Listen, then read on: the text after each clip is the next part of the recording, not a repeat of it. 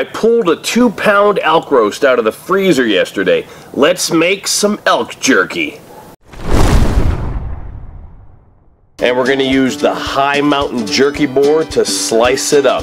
It's made out of hardwood and you can slice at two different thicknesses.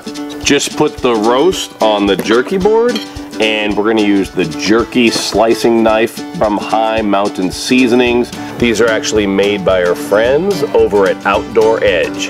Just be careful, you obviously don't wanna slice your hand. Take the knife and keep it flush against the jerky board.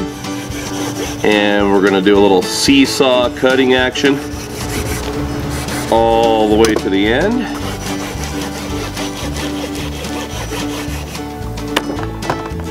Then you wash your board and knife in soap and water. Get a little bit of oil and rub it in to both sides of the board to prevent cracking and to have it ready for the next time you're gonna use it. I'm gonna take advantage of the Outdoor Edge game processor. We'll use the cutting board and the butcher knife. Grab a slice of the roast and I'll cut that up into jerky strips that I think will be good size for my family.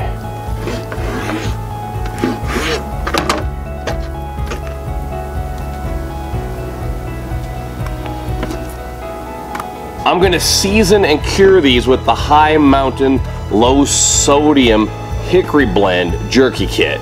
The Hi Mountain Jerky Kits come with instructions for making whole muscle meat jerky like we're making today, ground meat, and complete smoking instructions.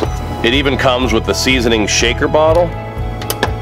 Two pounds of meat calls for one tablespoon of the hickory seasoning. Gonna put that in the shaker bottle and one tablespoon plus one teaspoon of cure.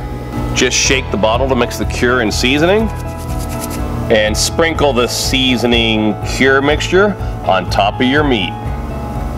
Once it's evenly coated, just flip the meat over, coat the other side,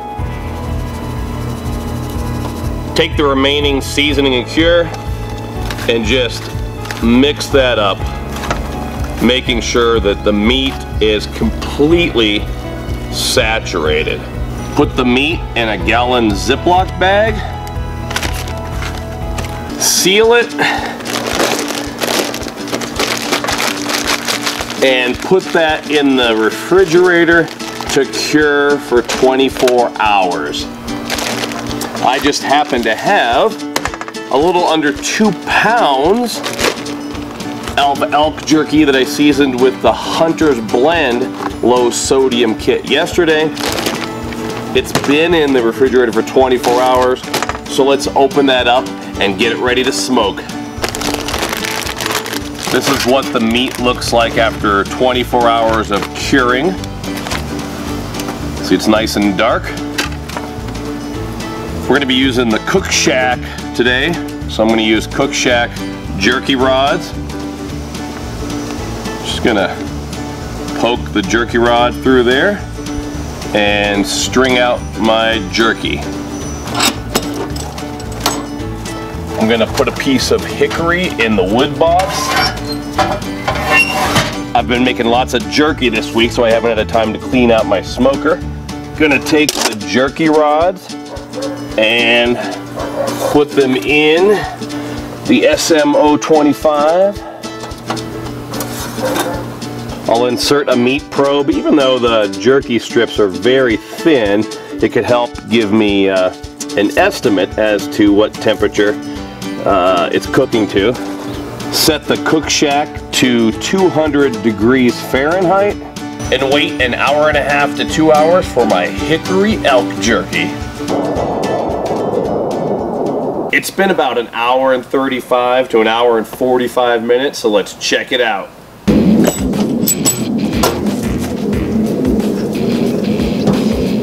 Oh man, you gotta smell this. Look good?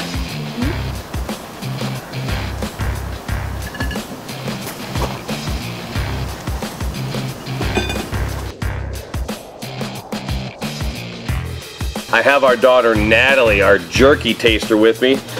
Let's give it a try, honey.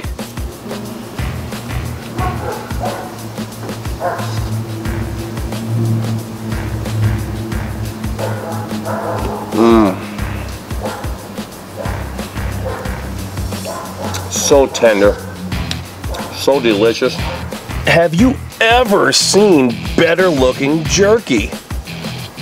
Hi Mountain Seasonings Jerky Kits, absolutely easy. Thanks for joining me today. If you haven't subscribed to my videos, please do so. And until next time, this is the Rocky Mountain Meat Hunter saying praise the Lord. And out.